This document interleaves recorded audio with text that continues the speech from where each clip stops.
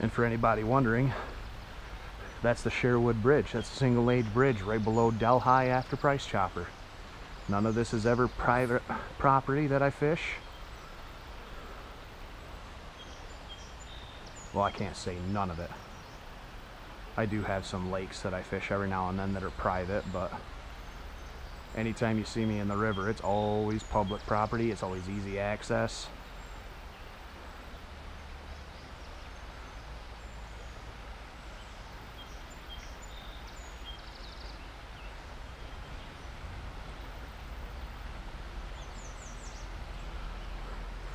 What I'm doing here, I've got my, I know it's upside down, fix that. It's my Cortland Competition Nymph, 10 and a half foot, three weight. It's got a fighting butt onto it because you need it when you tangle with a big fish. You stick that thing right to your forearm. And then the Shadow Gladiator fly reel. These are uh, kind of a local company. They're from the western part of Pennsylvania. I've got four or five of their reels. They're absolutely awesome. I highly recommend them and their line is very decent as well. I've got that coupled with this is a Rio Euro nymphing indicator line. It's got a butt section, I think it's like eight feet of nylon that you hook right to your fly line. And then it's got that sighter material. That's what I'm watching. On the end of that is a tippet ring that I tie on my six, eight foot of 5X tippet to my top fly, which as you can see, they've trashed this. This is my second day using this pheasant tail. I'm surprised it's lasted this long. And then after that, about a foot, is my point fly, which is a heavier fly. And this, this one's a uh, pheasant tail. I've tied these both myself. They've got tungsten bead heads onto them. I wrap tungsten wire and then copper around the outside because when you're Euro nymphing or Czech nymphing, tight line nymphing, whichever you want to call it, you always want to get to the bottom as fast as you can and you want to try to remain in contact with the bottom. So, nothing fancy in the rig. You don't even need the indicator. The If you want to use a, uh, a strike indicator, or bobber, whatever you want to call it, that's easy enough to do. And then I know if you've watched any of the videos so far, you can see what I'm doing. I'm keeping the line at a 45 degree angle or so, depending on the, how fast the water is. And you are keeping contact with those nymphs as they're bouncing along the bottom. And then you're just watching, watching, watching.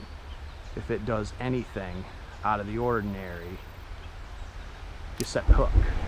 There wasn't anything there, I just wanted to finish what I was saying. But he always cast upstream. 45 it down. Always want to keep it as tight as you can. Sometimes it's a little difficult because this is a deeper hole right there and that's what you get. So that's kind of cool. I was actually talking and helping, I hope helping at least, and I hooked into a fish and this feels like a good one.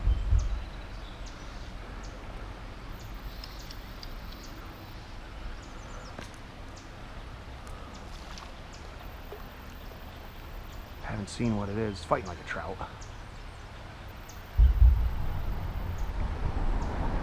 And you can see what I was talking about. See the flex in that rod, that three weight? That's what helps those lighter tippets so they don't break off onto a fish like this. But if the water's stained, I mean, you can up your tippet size to whatever you need to. This is a big fish, ladies and gents.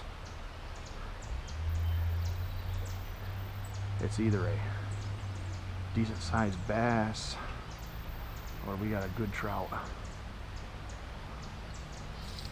There we go. Had to loosen the drag up a little bit. I haven't seen it yet, but the way it keeps headed back to the current, it's a trout. Gotta be. See how I got that fighting butt just pegged right in my forearm?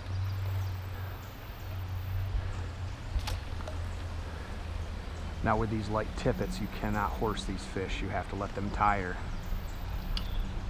I've lost a lot of fish tiring them out, but if you work them too hard, all you're going to be doing is snapping tippets and losing flies.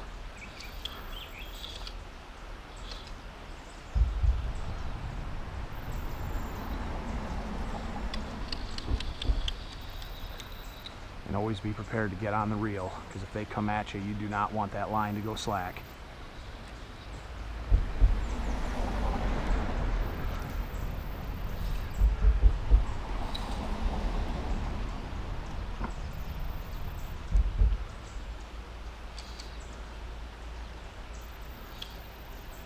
Definitely a trout. Bass would have given up by now.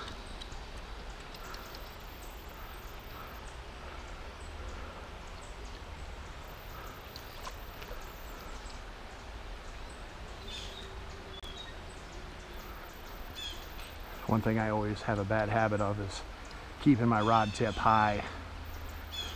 You want to keep your rod low and off to the side and then use the whole rod to get its head turned. I don't really know which way to go here. I can't tell if it's deeper in front of me or because this is a big fish. This is a very big fish. Is might be. Oh, oh, I see him flash.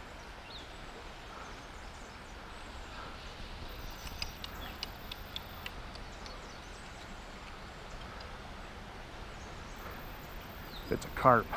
Oh, baby. That's not a carp.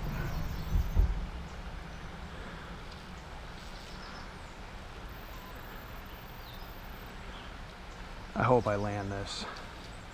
This is going to be the biggest trout of the year, I think. If not a personal best for me. and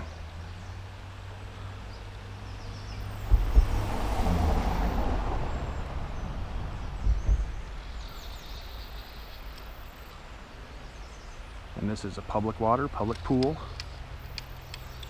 When I get done with it, if I land it, it's going to go right back in. So somebody else can have this kind of a rush. I think he's tiring.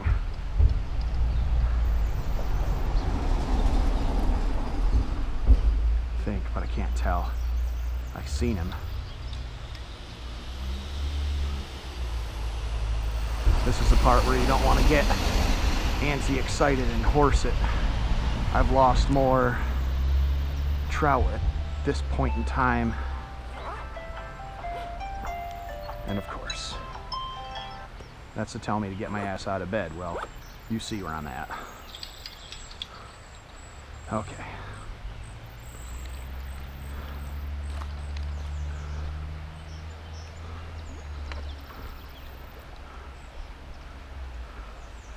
Yeah, he's tiring. He's trying to bulldog his way to the bottom.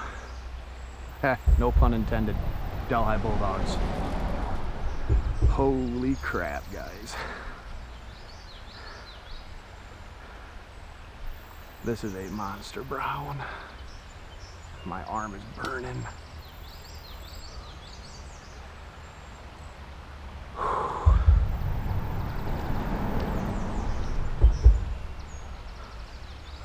Come on, guy, give up. Give up. I want to show everybody at home what you are.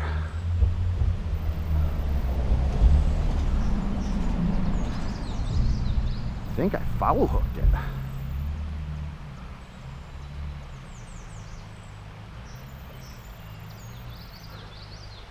I can't tell by the way he's fighting, but I think I did. I think I foul hooked him.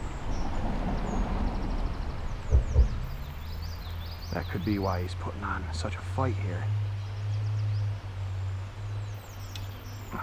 Come on, dude.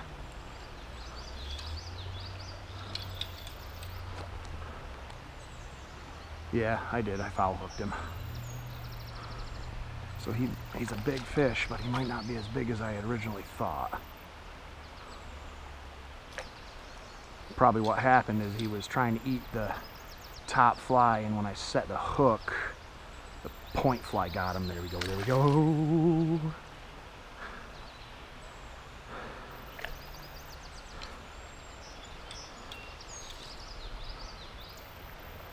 Whew, my arm is burning.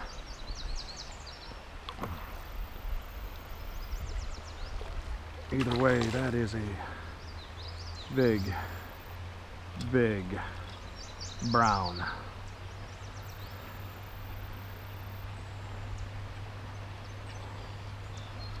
Okay, come on, come on, come on, come on, come on, come on. Come on, come on, come on.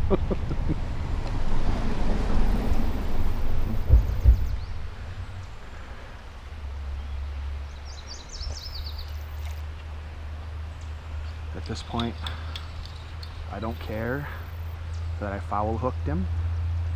I just want to see him out of the water.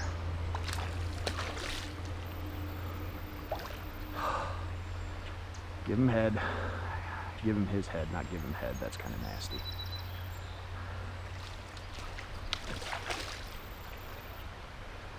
Oh.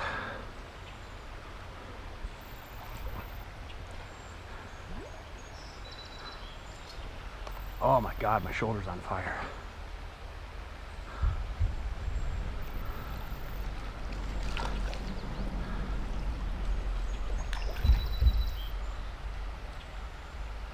I have landed carp faster than this.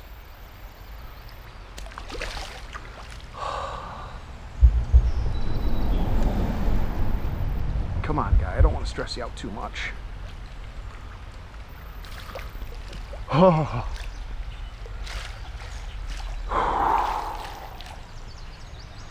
Holy shit. Ladies and gentlemen, pardon the French. Holy crap.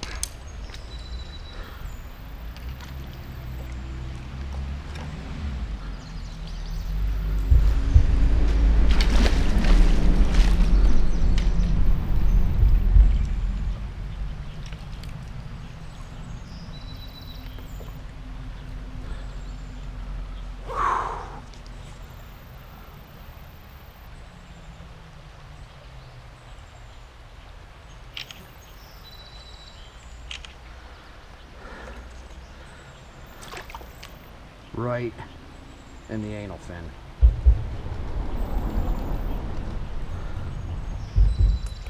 I bet you that's what happened. Okay.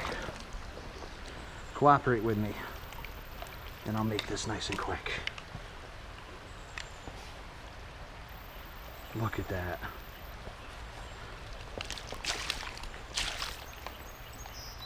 Excuse me. Make sure I got the inches side.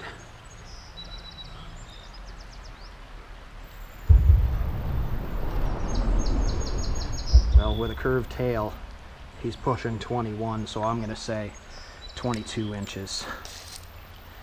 That is my personal best brown trout, guys and girls.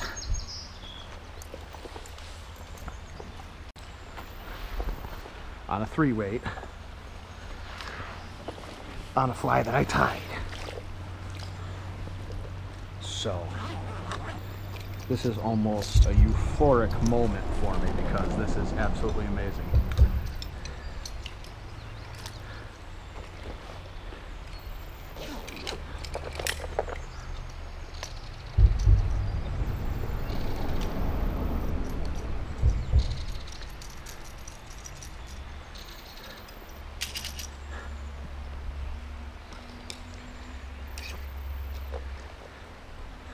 And for those of you wondering what I'm doing, that is a decoy mount for my GoPro that I use while I'm turkey hunting.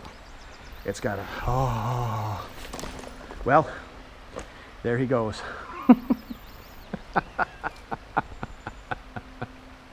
okay, well, I guess I'm not getting a picture of him in front of me. That's too bad.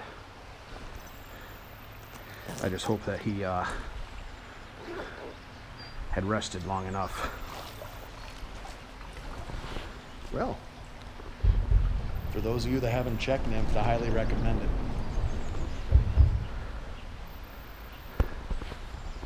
Hey, Slime Donkey, UPB'd, IPB.